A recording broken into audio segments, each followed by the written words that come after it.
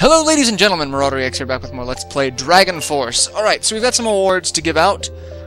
We've got one for Arios, and you're gonna get more Harpies, because why the hell not? And who else? We've got... I know Teiris got one, but I was pretty sure there was someone in between here and there. But apparently not. I guess it was just Teiris. Oh no, Scar. Scar gets 10 more harpies. And Teiris gets 10 more cavalry, because screw archers. At this point, I can probably switch her over to cavalry and not be too concerned. Especially now that she has another command skill. So we have Vlad, level 6, job, Bloodsucker. Haha, get it? Uh, he has 50... 50 zombies? That's a lot. That's, that's, yeah, that's a lot. I was expecting, like, less than. But 50?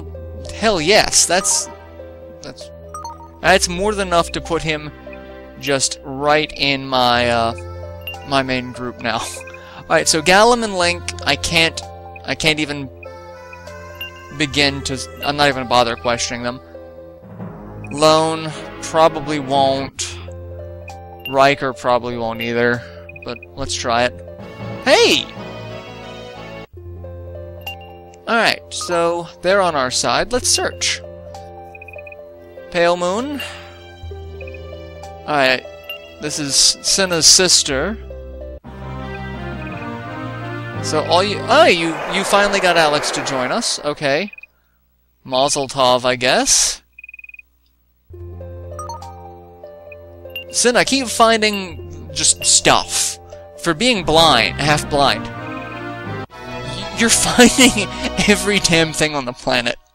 oh, that that's actually uh, a, a big story thing is because uh, Senna and Manoa both have very weak eyesight, which is why their their profile pictures have them with their eyes closed because they have very weak eyesight. I'm not entirely sure. I think that's in the the, the English manual, but yeah, you're worse than the phone company. How does Legendra have phones? See, that's one of the things that I guarantee you was not actually a part of the, the game. Hey, we get Randolph! Because I need more people. Actually, I kind of do. I, I do need people to make sure I have warm bodies in my not border castles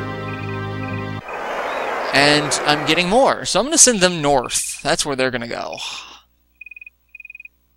I'm Gillette, take me to your leader. I'm the leader! Durr.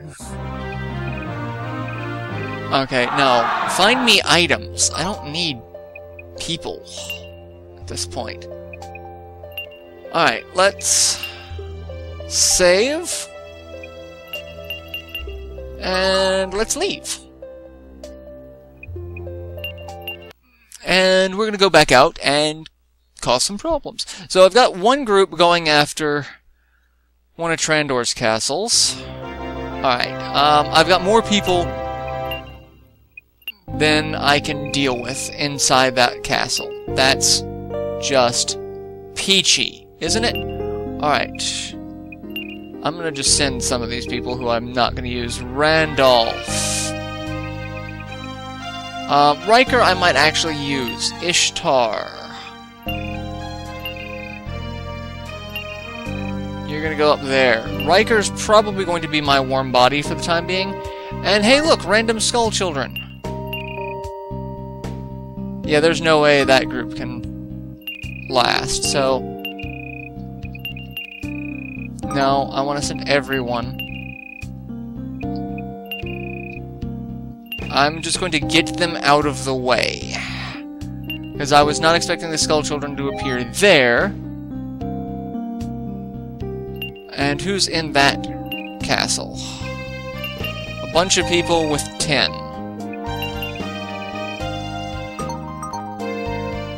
Alright, um...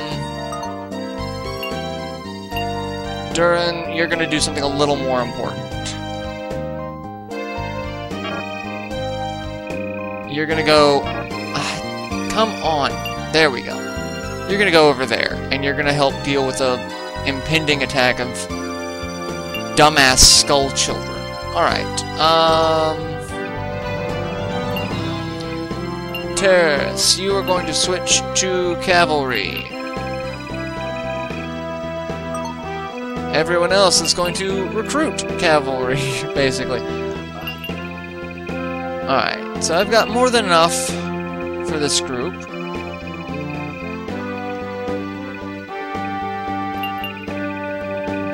Alright, we are going to send our new force. Junon. Terrence. Scar. Vlad. And... Arios. Uh, right now Riker will stay. We're gonna go... We're gonna go here. We're gonna take this one over. And actually, you know what? I'm gonna send a couple of these people. Army, Randolph. You're gonna go down here. In fact, I think you're gonna go down here as well. Actually, no, you're gonna go back here, because Gillette, you're kind of useless, so you're gonna stay here, and then my other three people are going to go and uh, continue on down there. And see, it's a good thing I did not go after that castle.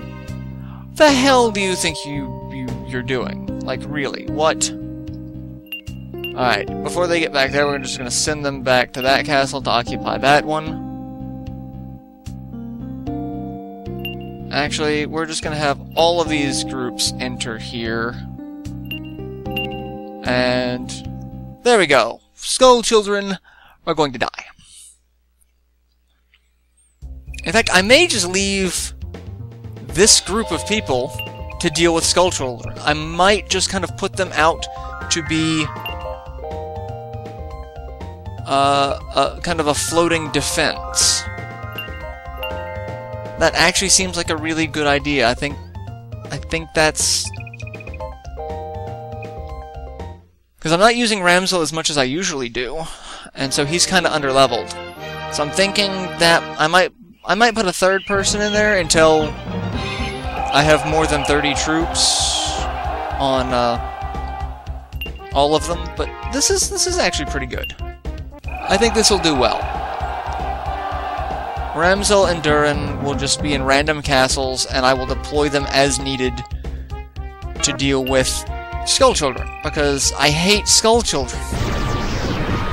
I understand their premise. They want to make sure, you know, your Monarch's leveled so that you don't try to beat the game with a level 1 Monarch. But still, it's a pain in the ass, is what it is. Because no one cares about these guys. Look, look at he's a thief. Which means at later levels, once he actually levels up, the only ability he's going to have is Shiva's Dagger, which it'll take out some troops, and it'll delay me from using my special attack. But they have no defense. They have next to no HP. I mean, look at that. I could probably send Ramsel back out after the other one if it weren't for the fact that I've already used my MP on him.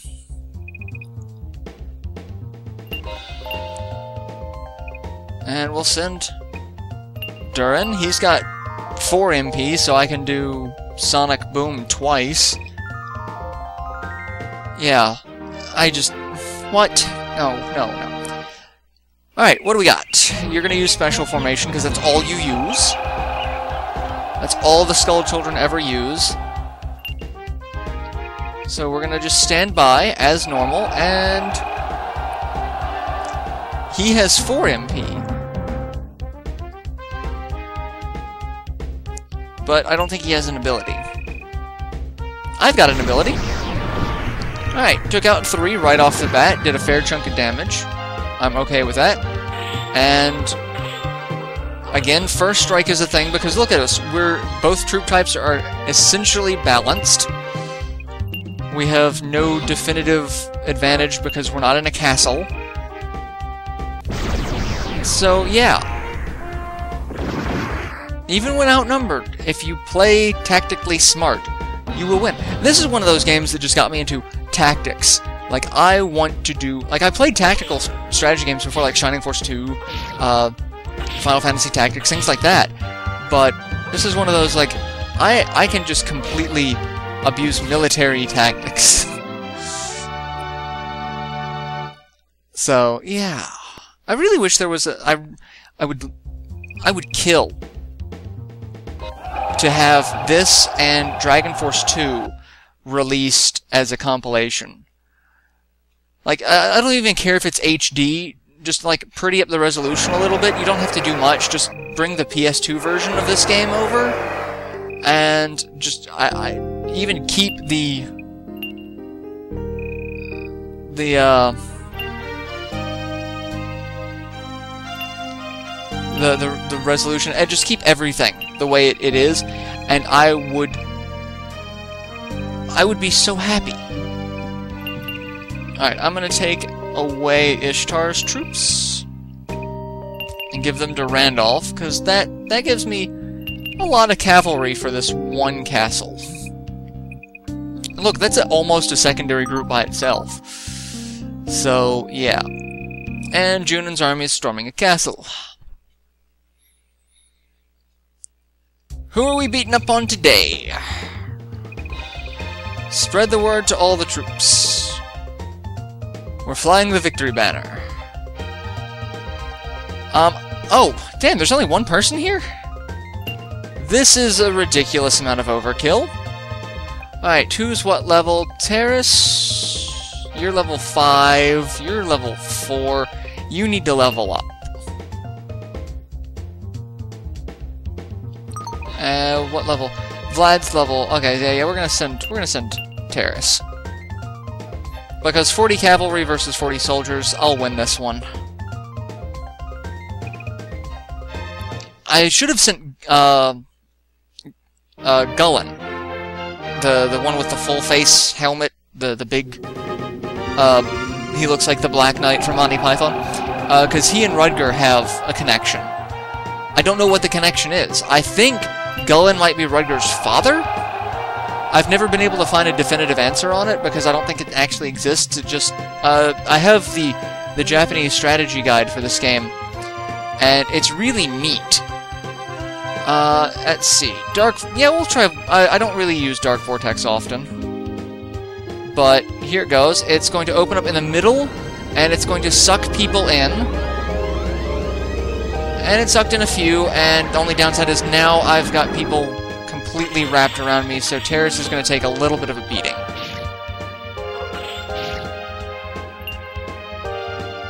Uh, let's... There we go. And... Yeah, Teiris is gonna Teiris is gonna take a lot of it. Damn it, Teiris. Teiris is dead. Because that'll that'll kill her. Damn it, Teiris. You just you're so useless with your HP. You should have survived that. Alright, so Teiris has sustained injury. That means she is actually going to be useless from here on out until she recovers from the hospital. So I will send Junon out to clean up Rudger, and then I'll just still go ahead and give a medal to Teiris so that, you know, something good comes from it.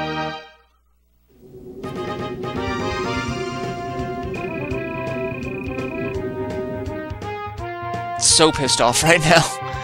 Because that's, that, that's some, that's some Keystone Capers type shit right there. Like that...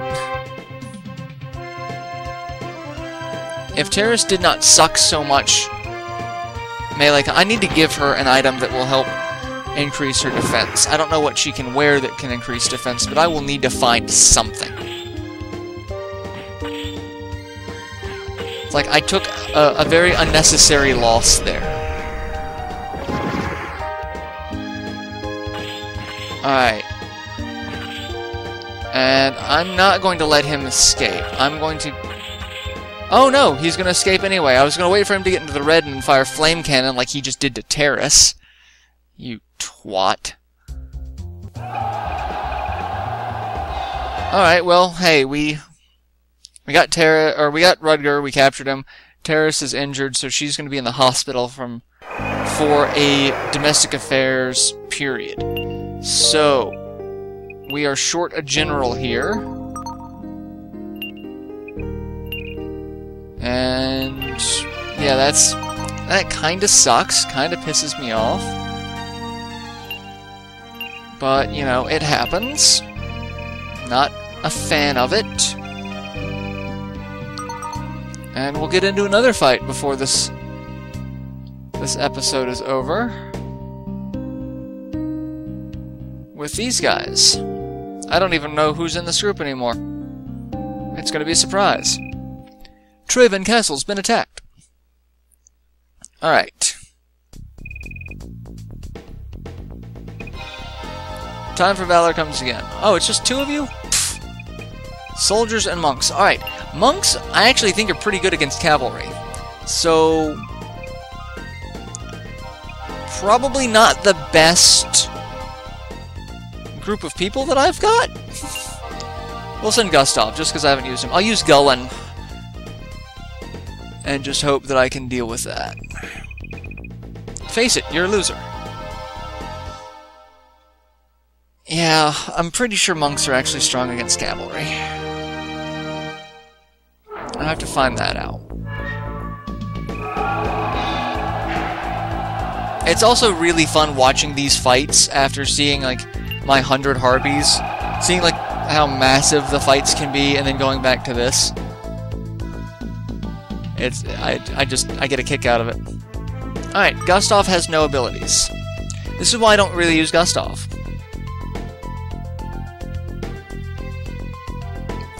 So he's gonna have to win this strictly on his own merit. Oh, damn it. That's... That sucked. But he can only use that once, because it's 3 MP. He can only use any ability once, because he only has 3 MP. So... I think the only thing you can that costs 1 MP is Ensnare which is one of Vlad's abilities. And I don't know if he has that yet or not. We'll find out, though. Because I'm pretty sure we're going to get attacked in that castle at some point by Wein's forces trying to reclaim it. Alright, take him down a little bit farther, that way if I have to duel him, I'm not concerned. I'd love to not die in a duel that I have no business losing to, because that just seems to be what's happening to me today. Actually not. Like, I'm not doing too bad. I have I actually have more losses now than I have in a long time playing this. But it's partly because I'm I'm cocky. I'm just like, oh, I can handle this. nope, nope, not gonna happen. Alright, so we capture Gunter. 30 monk versus 50 cavalry, I think is going to be our best bet. And we've got a 25% terrain bonus, so hopefully the numbers are on our side. If not, I'll have another loss because I will just have to run away with Gullen. Because, you know, planning is a thing. Ah, son of a bitch, and you're using raid formation? Alright, um... Offense, advance, and Livian, look at how much MP he's got. He's got 7 freaking MP. That's a bit overkill. And all I've got's Cross Slash. Oh well, this'll help out a little bit. Damage is never a bad thing. Yeah. Monks are good against cavalry. You've got Cross Slash too. So yeah, I'm to have to take out as many of his troops with this group as possible. And not doing too bad. 10 to 19.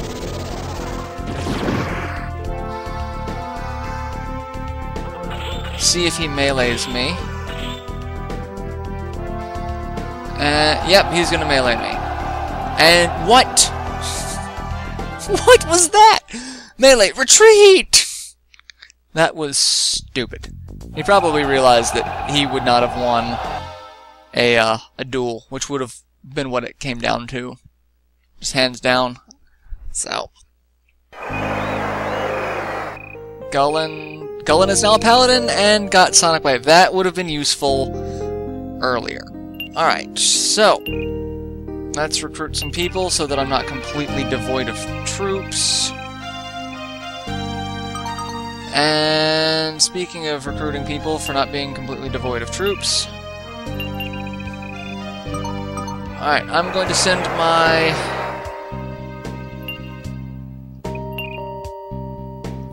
I'm going to send these three.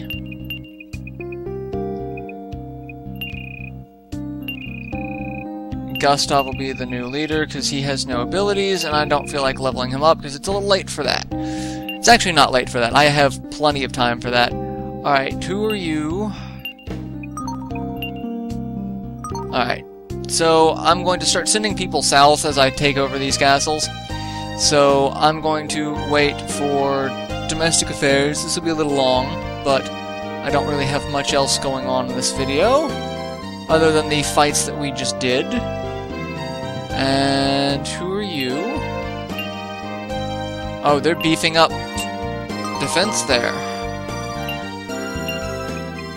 Yeah, they're beefing up some defense, so... And I love castles will just randomly level up, which is always fantastic. Alright, so let's see what happens. Public support index, I have to use it. I really should just go ahead and give myself that dragon crest and use these for that. Gullin, Durin, Gustav, Ramsel, Alright, uh, so seven losses again. Um, so yeah, I'm gonna go ahead and end this episode here. I will see you guys in the next installment. So till then, later everyone.